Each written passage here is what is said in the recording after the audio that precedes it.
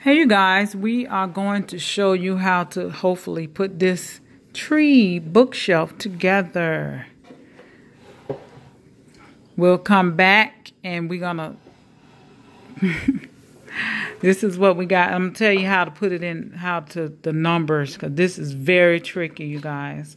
So we'll be right back. Okay, how does it start? One no, stop at number four. Oh, number four.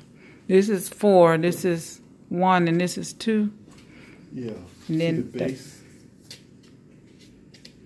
Yeah, the base is number one, five. two, four. I mean one. What is it? No, no. Four. four You have to stop at number 4 mm-hmm. on the top. Then number one. Mm-hmm. Then number two. Okay. And there'll be another number one. Okay. And then be number two again. Okay. Then number one until you get down to three. Okay. We'll be on the end. We'll be back.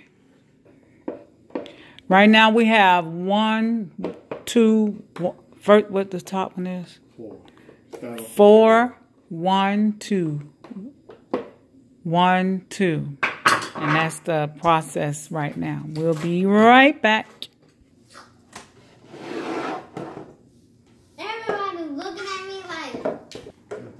Down for the home stretch.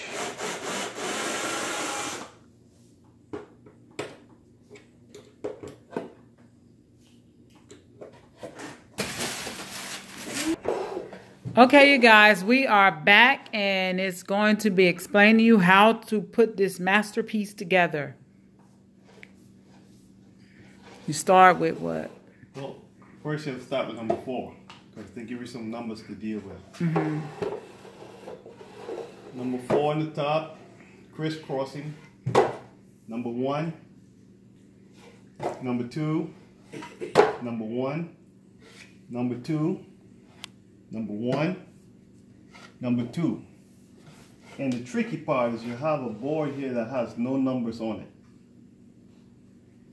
So if you buy one of these and you have this,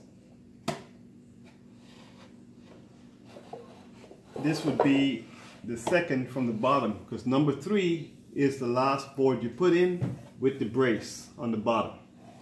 Now if the screws for the brace doesn't line up, you can still use ho the hole in underneath and still brace it.